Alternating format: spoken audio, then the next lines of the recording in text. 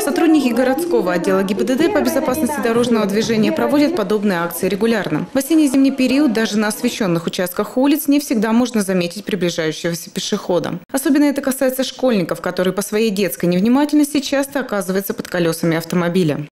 Большая проблема возникает, когда дети утром идут в школу и еще на улице темно, и вечером возвращаются домой, когда уже темно.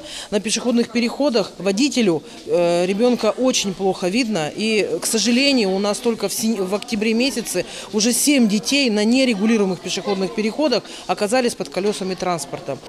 Именно поэтому госавтоинспекторы призывают родителей обратить внимание на одежду детей и использовать как можно больше светоотражательных элементов. Это могут быть брелки, наклейки, специальные жилеты, ленты. Школьники приняли активное участие в конкурсе. На суд жюри ребята представили верхнюю одежду и аксессуары. Разработать модели им помогали как родители, так и педагоги.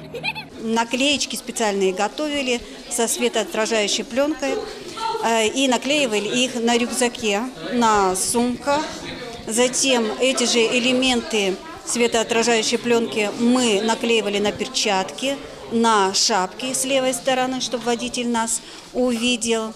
Ребята выходили на сцену и по очереди демонстрировали сверстникам готовые модели. Всего в зале собралось около 100 ребят. По итогам конкурса жюри признало победителями команды 5, 7, 44, 52 школ и 31 гимназии. Все участники конкурса получили в подарок светоотражающие брелки, а участники дефиле еще и браслеты. Елена Шевкунова, Александр Менщиков, информационное агентство «Курган.ру».